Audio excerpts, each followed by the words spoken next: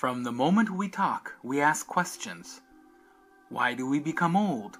Why do we become sick? Why do we feel pain?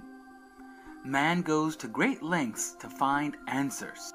There is so much information out there, but no matter how hard we try, we just can't find real help to stop the pain and inflammation. The good news is, the answer to your pain and inflammation has been right here all along.